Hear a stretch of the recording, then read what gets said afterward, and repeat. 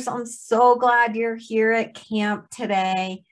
Today is a very special day at camp because we are going on a canoe ride. Yes, so get ready, go get your towel, get in your bathing suit, and head on down to the small crafts beach where we have all the canoes. And the exciting part is that each of you are going to have your own canoe. So as you get ready to move on down to the beach, begin to get comfortable in your seat. And as you walk down there, you're reminded of where you are right now, where you are right now in your relationship in what it is you're asking for in love and all that is present with you and your life right here and now. Because this is where you are going to start today.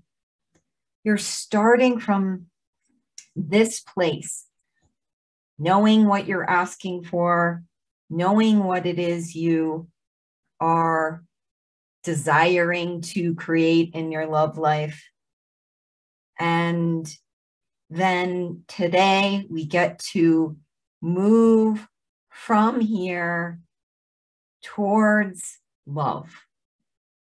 So as you arrive down at the beach, go ahead and let your imagination guide you as to which canoe you're going to choose and get to your canoe, grab a paddle, they're on the beach there for you, and get in the canoe.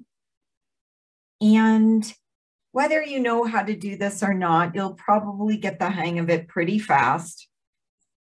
Begin to push yourself off from the shore until you notice that moment where you just begin floating in the water.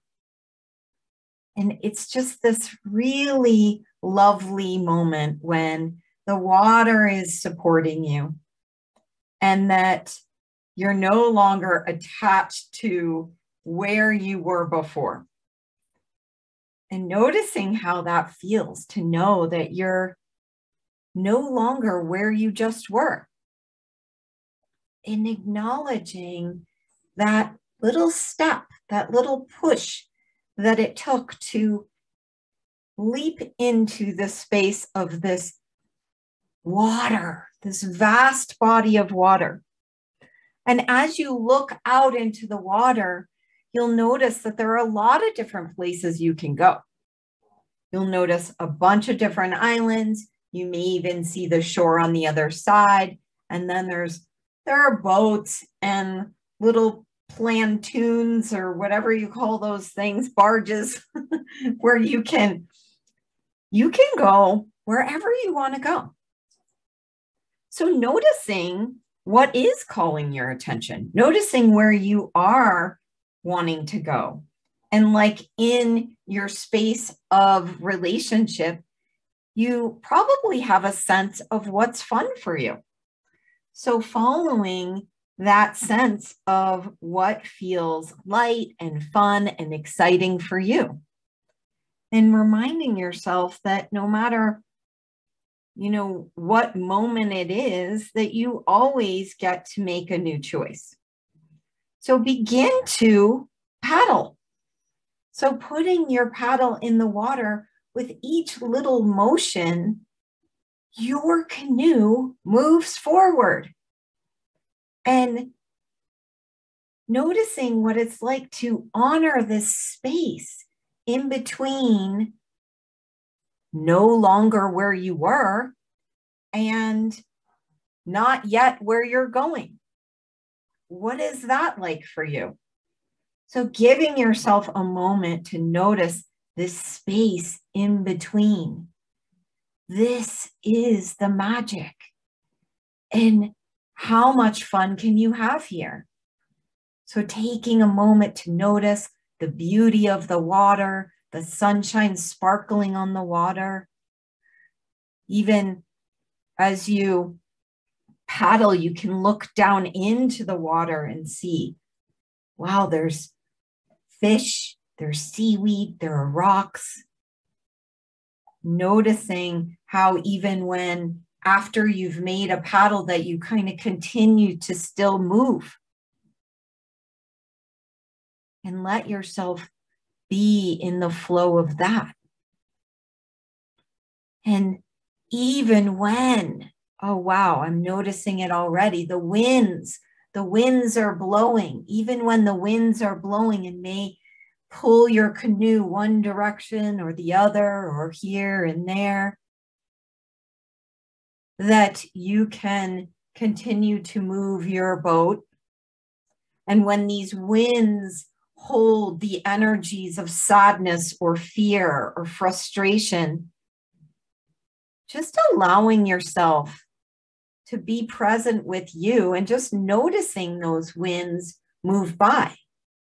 There'll be winds of joy, there'll be winds of peace, there'll be winds of loneliness, there'll be winds of excitement. And noticing what it's like that even if your boat moves a little bit with the winds, that you can make the choice to continually paddle towards where you're going. That you are the one that can be aware of these things and notice the sensations that come with those winds without becoming that, without making it solid and real and giving up that it's up to you to continue to be aware. Notice what you notice. But you are the one that is leading this journey. And it's okay. It's safe for you to have a wind of sadness. It's safe for you to have your boat move a little bit off course. And checking in every once in a while. Okay, so I was moving towards this space. Is that still where I want to go right now? Or is there something else that is calling my attention more? Honoring you in this space in between, honoring whatever it is that you know now, because you've moved a little further along this path. What do you know now that you didn't know before? letting yourself enjoy this journey. Smell the fresh air, noticing your friends on their boats around you. What else are you aware of about this journey? Giving yourself the energy, the consciousness, the space, the kindness, the nurturing that's available here and now. And take as long as you want to be present with this. If you want to pause the audio for a moment, you can. And everybody has their own pace. Everybody has their own timing. And it's up to you to just keep being present with all that is occurring. And now, wherever you have decided that you were going, you have arrived. Arriving at your place, arriving at the shore of this new place arriving here and noticing that as you're here, what do you see here now? Are there, is this working for you? Would you like to stay here? You always have the choice to get in your canoe and move to a new place or explore what's here now. You're the one that will know what wants to happen next, following the energy of that. And also noticing that as you're here, if you're deciding, yes, this is where I want to be now, that Now there's a new journey, the journey of being in the space of this and what wants to happen here.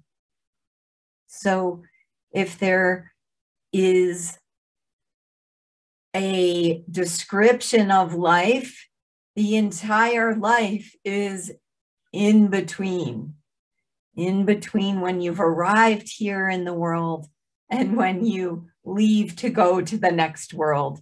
This is the experience of your life, moving in it, with it, receiving from it. And how does it get any better than this?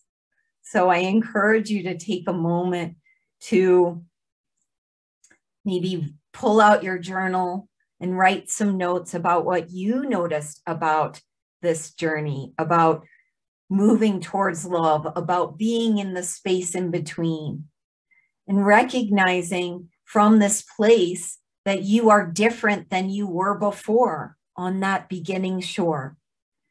And even in this small little canoe trip, that you have changed and honoring the difference that you be from the subtle changes that each stroke of your oar has brought you to a new place. And anywhere in your body or your being where you want to look back at that shore that you left and all of the choices you made before that and say, why didn't I know better? That you resist going to making yourself wrong from in the past that you resist anywhere where from a new consciousness you go back and and make yourself wrong for the choices you made before that this is an opportunity to honor your continued growth and to allow yourself to receive all that wants to be here and now. And give yourself that kindness, that presence, that honoring of you here and now. And enjoy the journey. And know that no matter what winds of fear or sadness that arise, that there's always something that you can choose to care for you. And it can include a lot of things. It can include choosing to be just aware that those are not who you are, that they're sensations that come and go. You can choose to call a friend. You can choose to take a different journey and look at a different space. Move your body, create something fun and anything else that you know that is, is inspiring you and moving through you. So celebrating you here and now. How does it get any better than this? And I am so happy that you are here at camp. Have a great day.